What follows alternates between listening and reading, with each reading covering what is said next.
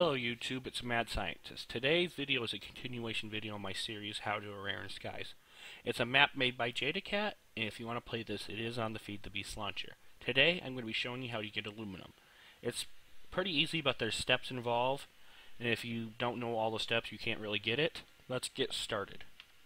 Basically, all you need is an oak sieve. It doesn't matter if it's oak or not and some gravel. If you do not know how to make gravel, I did make a video on it, and I'll put it in the description of this video.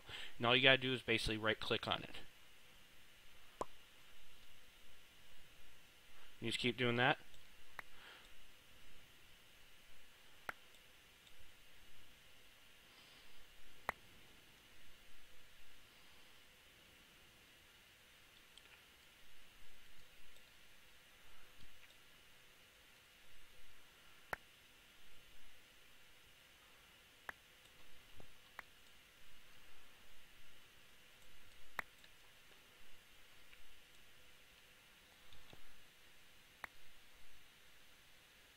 Just keep right clicking to it. There we actually finally got a piece of it.